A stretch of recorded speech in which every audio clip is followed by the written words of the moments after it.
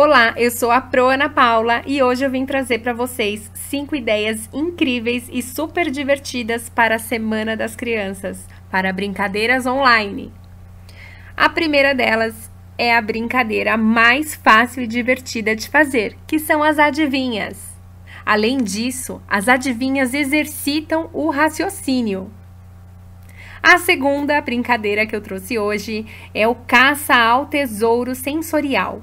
As crianças precisam encontrar objetos com as condições que você escolher.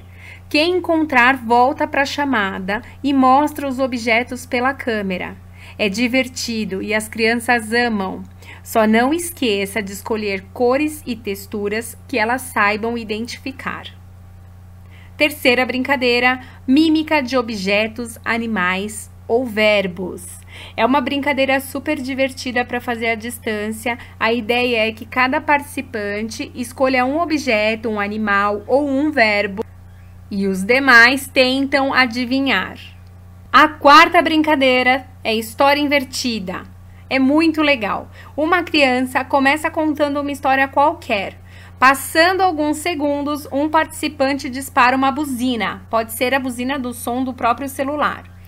Essa é a hora de outra criança continuar a história, mas invertendo a última coisa. Por exemplo, se o participante disser, então peguei meu brinquedo e entrei na sala, o próximo participante a contar a história deverá falar, então saí da sala e larguei meus brinquedos. E a quinta e última brincadeira é o stop. A professora escolhe o tema dos tópicos como cor, objetos, nome de animal. Então cada aluno irá fazer a sua tabela. A letra é sorteada pela professora. Assim que a letra é escolhida, os participantes terão que escrever abaixo de cada tema uma palavra com o início da letra sorteada. Quem terminar primeiro grita stop. Então, inicia-se a contagem de pontos. Boa semana da criança para vocês. Muita diversão. Beijos e até a próxima.